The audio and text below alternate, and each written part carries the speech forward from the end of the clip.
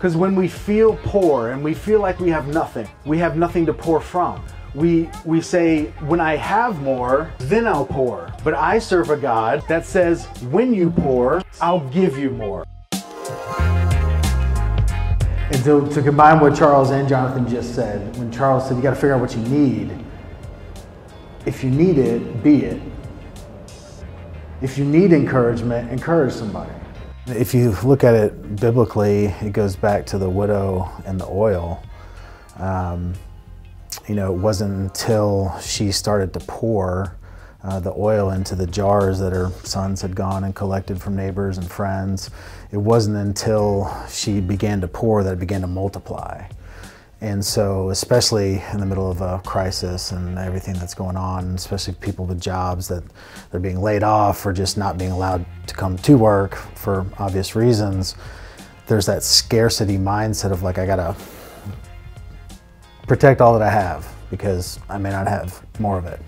Um, and there's no better picture of that than seeing people at grocery stores. Like, there's been so many pictures that have gone out of like, you know, some young healthy guy with like a two carts full of stuff that he needs and some old lady that, you know, is like, there's nothing left.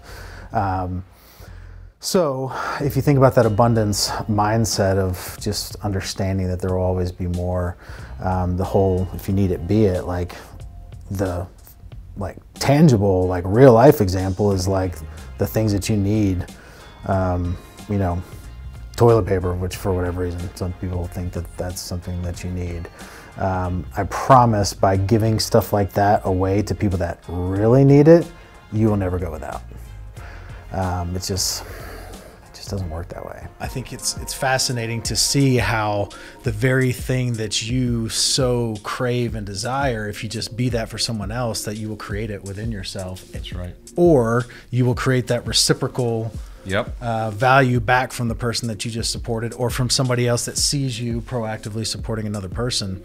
Um, but just by the simple act of doing for someone else what you need done for you, it's almost like you're doing it for yourself as well. And you don't do it with the expectation that they'll be Mm-hmm. it, but it will show up. So, whatever it is that you feel like in your life you need mentally, emotionally, spiritually, how can you take steps to be that for somebody else? And you know, it's it's a simple sowing and reaping process. If you plant seeds of hope in someone else, then when the harvest comes, when those seeds of hope start to bear fruit, you are going to be on the receiving end of that hope as well.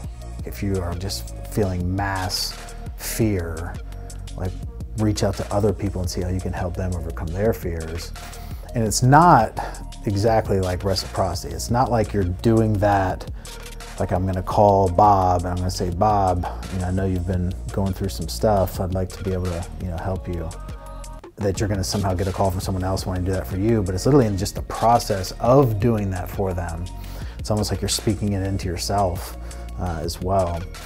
And so, I mean, if you think about like the things that someone right now like really, really needs in their life, well, how can you be that exact thing for somebody else and maybe even more than one person? And I promise you, you will get it back in return. If you put good stuff out, good stuff will come back. And in my personal uh, experience, it comes back tenfold, twentyfold. It's not the like woo woo, like mystical, like all of a sudden there's gonna be fog that comes up behind me and I have a glass ball that I'm looking through. It's just having the right intent, being a good person, and knowing that good things will happen because of it. And you can boil it down as as basic as the fact that like no effort ever goes unnoticed, uh, especially effort towards a good, something that's right and good. Um, you know, they, that quote, that what is it? The opposite of faith um, is not uh, belief, or it's not fear. It's sight. And so the whole idea of faith is being able to put effort towards and action towards something that you cannot see yet. and understanding that like if you take that one step, just like you said, that next step will become a little bit more clear. And then you take that next step, and the next one will be clear. There's so many people that are probably right now sitting at home, like praying to God, like I need you to help me. And He's like, I need you to help yourself. you know, like that old analogy of the guy in the boat or the guy outside. Um, treading water and the boat pulls up and they're like hey you need any help he's like i'm you know i'm praying for god to save me another boat shows up and they're like, hey man, you need some help? He's like, no, I'm, I'm praying that God's gonna come save me. And God was finally like, I sent two boats. like, like, like, what, do you, what else do you want me to do? Like, you're gonna have to do something. Um, but I think that's, it's, it's funny, but it's not funny when you think about how many people are living their life that way. They're like, well, if God would only do this, you know, then I would take that step of faith. Well, it's like, well, God's literally waiting for you to take that step of faith to do what you want them to do. And then that's when the in the doing that you actually he he'll finish the rest of the way. Once you once you've finished and done everything you can, it's it's like I was saying, the universe opens the door to walk you in the rest of the way, but it was in that doing that you actually became the person that deserve that. Mm-hmm. You became the person in the doing. You the all the knowledge went from your head to your heart and it's it's fascinating. It's hard to explain, but it's it's and there would be no there would be no reason for faith to exist. None. If you were just given everything that you wanted. Yeah. And there was no effort on your part, then there would be no scenario where you had to do something and expect, okay, I've done all that I can do and have the faith that the rest will be done for you. If it was just done for you from the beginning, there would be no reason that faith faith wouldn't exist at that point. So right now you have this opportunity what do I need? Man, I need I need help. Okay, give help. I need hope. Great, give hope. I need certainty. Great, give somebody else certainty. If you need it, be it. What is it right now in your life that you feel like you need? What is it? The second that I ask that, what is it that you need in your life right now? The second that I ask that, the thing that hits you, like that that's it. So, how can you be that for somebody else today?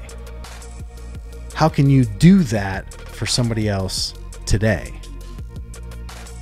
Figure out what it is that you need, and then figure out who in and around you can you do that, be that for, and watch it transform in your own life.